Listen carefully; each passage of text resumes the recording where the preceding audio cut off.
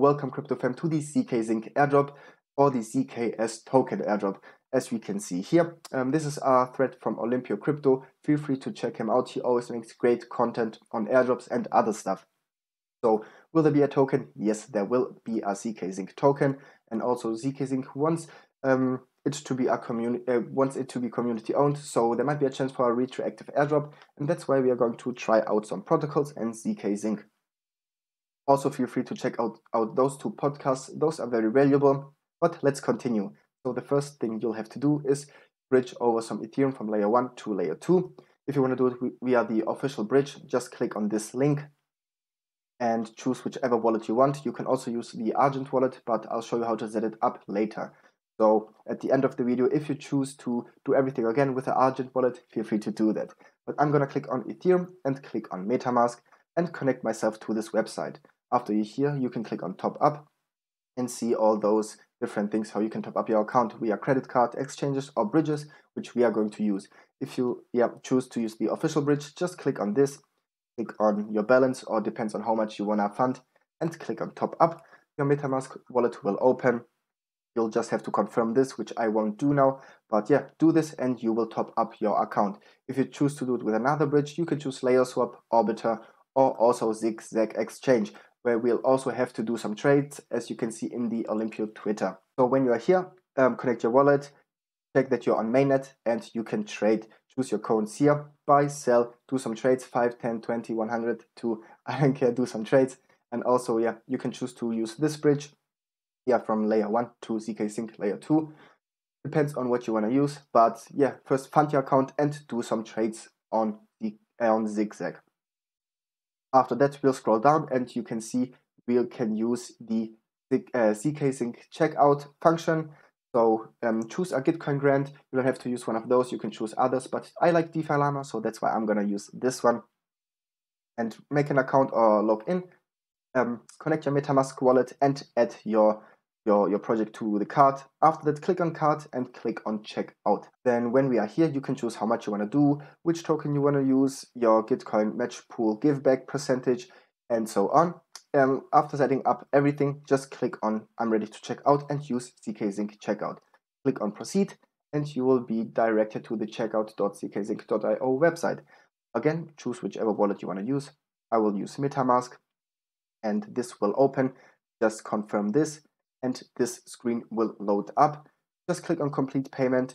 Again, confirm this in your MetaMask wallet, which I won't do at the moment. But yeah, feel free to do this. And then you also use the zkSync checkout function. After that, we will mint an NFT on the zkSync wallet. So all you have to do is first click on Pinata Cloud to get the CID, um, I don't know, how it's called numbers or whatever. So when you're here, make an account and lock yourself in. That's what I'm gonna do now. We'll see you. Uh, I'll see you in a second.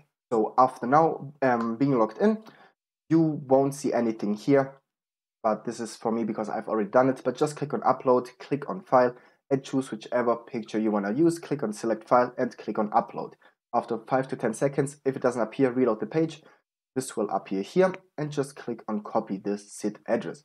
Then hop over back to your zkSync wallet and click on NFTs click on Mint NFTs and copy in your um, number. Click on Authorize to Mint NFT and accept this in your MetaMask wallet. After that, just click on Mint and your NFT will be minted. If you confirm this, I won't do this now because I've already done it two times. So after doing this, you will see your NFTs here directly. And yeah, we've su successfully used the NFT function. You can also withdraw to NFT to the layer one. Yeah, we've topped up our account. You can also um, send some Ethereum, um, swap. This will direct you again to the Zigzag exchange. We've done NFTs. You can add some contracts and here's your history. After that, you can also trade your NFTs on zknft.xyz. But as we can read here, you can create an accept NFT offer over there. Not currently possible to mint, so you can't mint, but you can make offers.